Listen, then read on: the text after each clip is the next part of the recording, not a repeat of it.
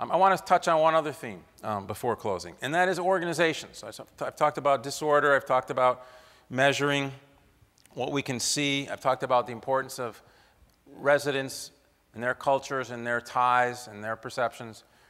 But organizations, and of course law enforcement is an important organization, matter a lot.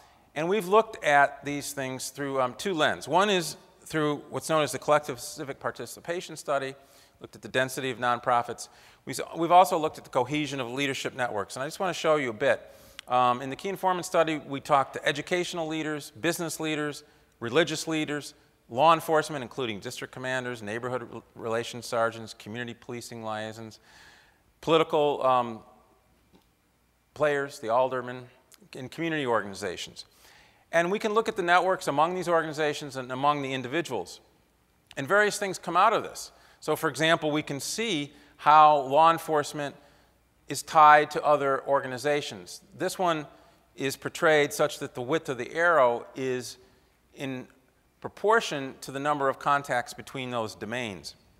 And I have a lot to say about this, but I'll, I'll just note that there's some evidence that despite a lot of the research saying that you know, churches um, and, and religious collaborations are important, that at least in Chicago, the connection between law and religion is relatively low, almost non existent. Same with education. And this may be a problem, and we're still working on the, this analysis, and even community organizations. So, this gives us a different kind of information.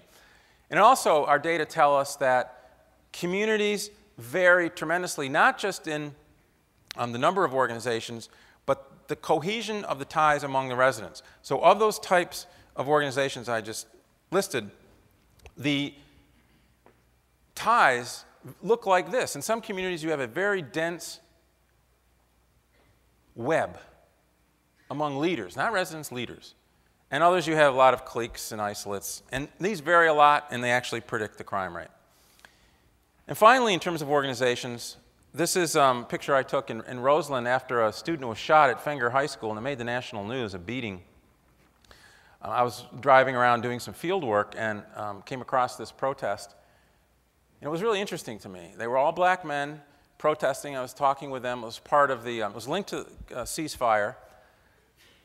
But it was an, it's an example of collective, not individual, collective behavior. This is a poor community, disadvantaged community, high crime. And they were taking advantage of the ability to organize and try to reduce violence in that community. And this is part of our story. Now, what drives this?